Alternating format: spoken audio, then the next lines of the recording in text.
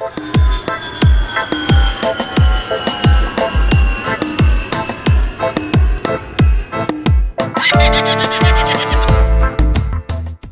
right, quick update on uh, teamwork, integrity, and quality that goes on at the uh, immigration office. There we go, teamwork and whatever, integrity and quality. Okay. So the last time I was here, last couple of times after I bought the truck and the two motorcycles to get the uh, certificate of residency so I can get them in my name, I came in through this side door. So even though it said staff only, this is the way you came up. Now you see it says closed, go around front because of the third wave of COVID.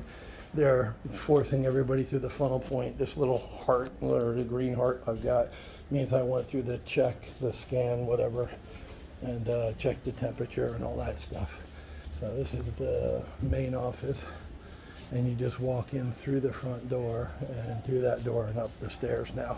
That's the only change. These are the main windows for people, you know, coming to do regular immigration stuff, like 90 day report. breathe, breathe. So main entrance, coming back out. And uh, still 500 baht for expedited service. What's changed? Because I've told you many, many times, Thai people love money. What's changed is uh, the uh, free. You can actually get this certificate residency for free. And before it was if you were willing to wait 30 days. And I didn't want to wait 30 days for the truck or the bike, even though, hell, with the truck, I think it took more than 30 days.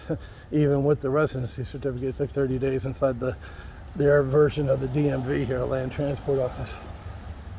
So now it's 60 days because of holidays, is what she says. She's an adorable lady. She's very sweet, very nice lady. I have no problem with her. She's just an employee, but you know, the system is it's really so on the advice of my visa lady, I came to get the certificate.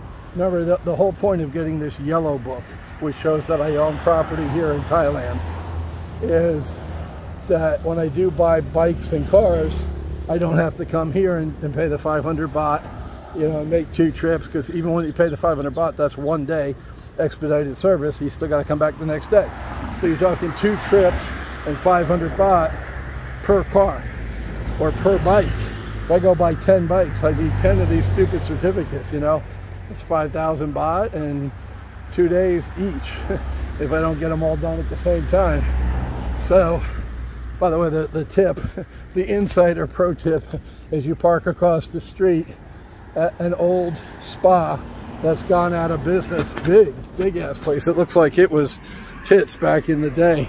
The Pinman Tip luxury spot. You see, it's a big old building with all kinds of statues.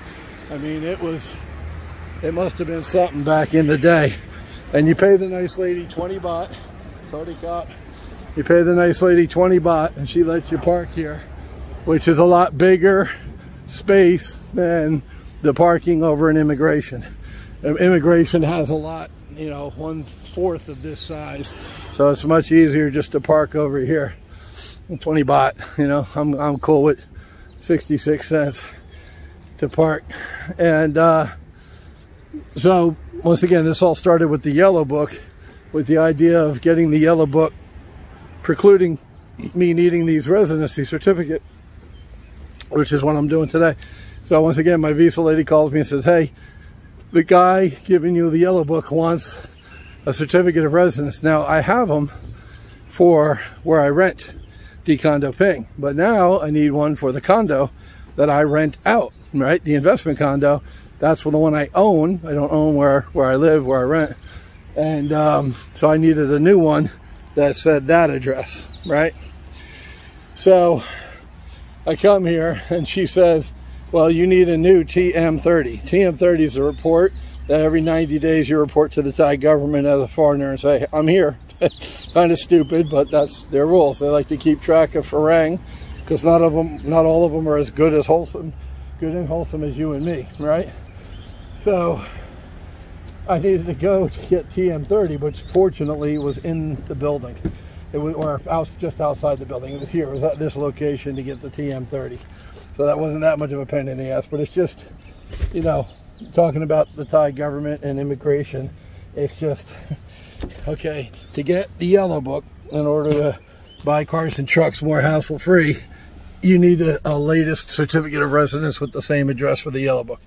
Okay, to get the certificate, you need a TM30. Okay, so just, you know, and it was free, which actually surprised me to get the TM30 didn't cost any money because that was what I was expecting because they are very focused on money here. That whole scarcity thing we talked about is very real here.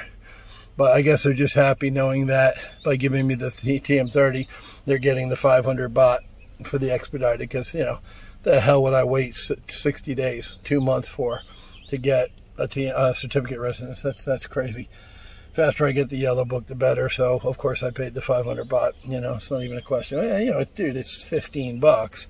Um, I've been here a year, but I still do think somewhat in terms of, of U.S. dollars. And when you look at 15 bucks for the convenience of getting it the next day, it's a no-brainer. But when you live here for a while, you'll understand that when people charge, you know, 500 baht or 1,000 baht for administrative stuff, it pisses you off because you know how far that 1,000 baht goes. So that's the update on the residency certificate. If you live in Chiang Mai or if you move to Chiang Mai for now because of COVID or maybe permanently, you go into the front. They want everybody to do the scan. They missed you with some kind of decontamination shit, which I'm glad I'm only coming here twice because I don't want to walk through a fog of frigging chemicals. Um, so you go through all that bullshit just to get a piece of paper. But the piece of paper gets me the book, and the book makes my life a lot easier for the rest of the time I'm here. So to me, worth doing. A yellow book, once again, that's what Farang have. Thai citizens have a different color book. I forget if it's blue or green um, that shows that they own property. But for Farang, it's a yellow book, and that simply says this guy owns property, a condo, uh, in Thailand. And once again, that greases the wheels every time I had to deal with the government for anything. So I'm doing it. And that's uh, seven grand, 7,000 baht. So what, 200 bucks? You know, once again, it's, think in terms of U.S., it's no big deal. So that's the update.